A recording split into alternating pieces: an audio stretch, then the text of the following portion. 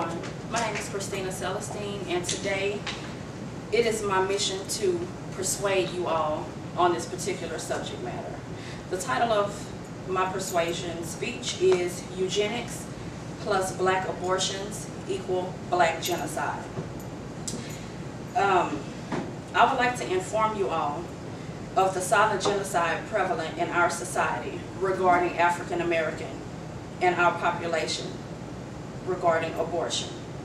Here we have a continued eugenically motivated mission to exterminate and eradicate the black population.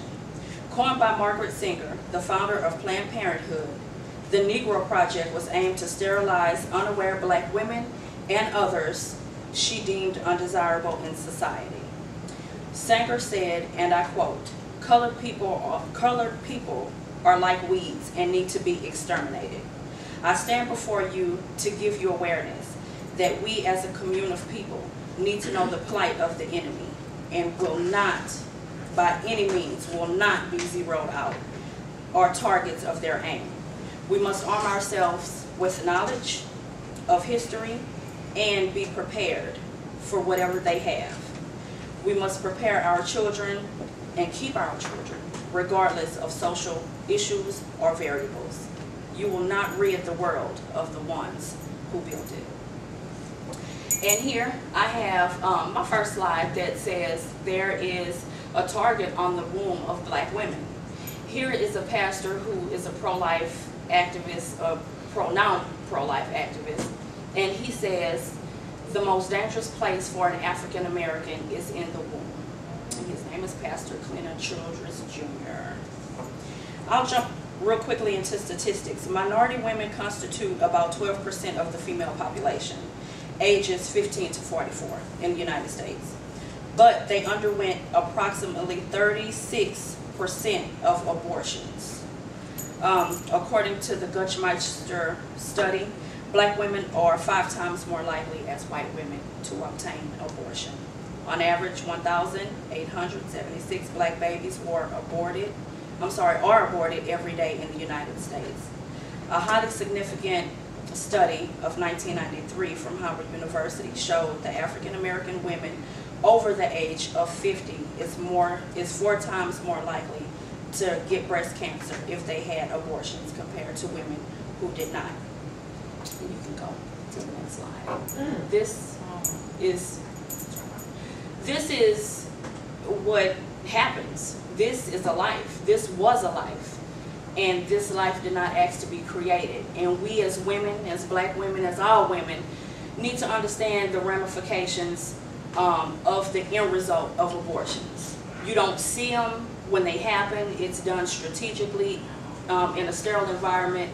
And regardless of the weeks, the trimester of your, your fetus, I mean, as you can see, the baby has full legs, five, ten toes, ten fingers, a head, hair, little eyes, nose. This was a life and this is business to Planned Parenthood and other satellite abortion clinics. This is what they do and we as black women are keeping them in business. And this is the agenda of the eugenics culture who are targeting us. They do not want us to procreate. They don't want us to to know our history. Therefore, we can't build, we can't contribute to society in a positive way. Um, history, black genocide is nothing new under the sun.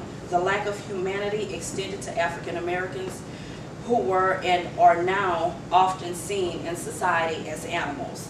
And briefly, I have starting from the Willie Lynch letter, the Negro lynchings, black codes, um, the Jim Crow laws, Plessy versus Ferguson, um, uh, the Tuskegee experiment, and other human experiments such as the, um, the Holmesburg experiment in the Holmesburg prison.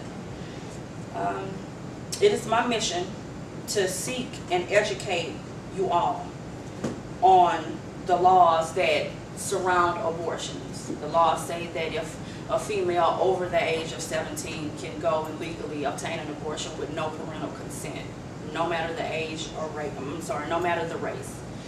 If she's 16, she has to have parental consent. Um, but it still remains that black women are the target, and so is our children. Um, who is affected? Everyone of African descent. Um, no matter the socioeconomic backgrounds, the educational status, or the religious backgrounds, we're all affected. And our silent victims are these babies. This child could have grown up to be who knows what, who knows who. And life was cut down um, just like that. And it's, it's, it's sad, but it's true. And it's happening, and it's true. And it's happening every day.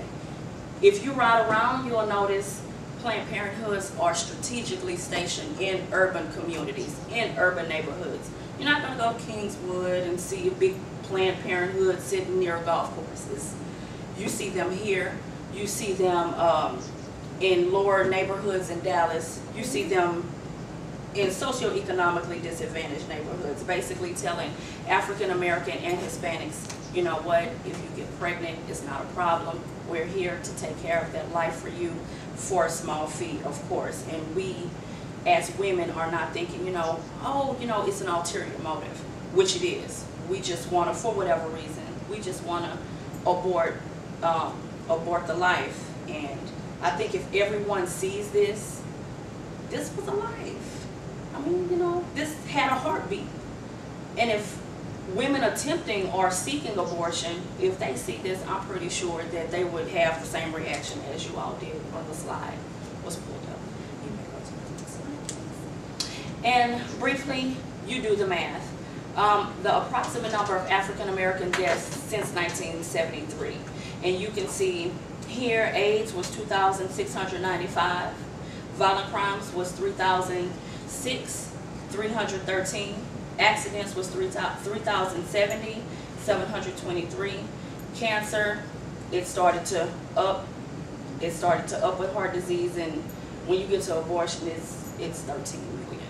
So that, I mean, all those added together, all those variables added together, don't even touch, begin to touch 13 million. And in conclusion, this incidence of abortion has resulted in tremendous loss of life among African American babies. Since 1973, over 13 million abortions have occurred. Michael Novak, a renowned researcher, has calculated since the number of current living blacks in the United States is 36 million, the missing 13 million represents an enormous life for without abortion. Black Americans in the community now number 15 million persons. It would be 36% larger if we would have kept those 13 million babies. So I encourage you to get out, get aware, talk to someone who's considering abortion, do research on it, look at the aftermath, look at the babies, smallest quarters that are just taken out with, it's, it's a job and it's done for money and it's no consideration. And if we don't watch it, if we don't watch the hidden agenda, we will not last. Thank you. Thank you, thank you.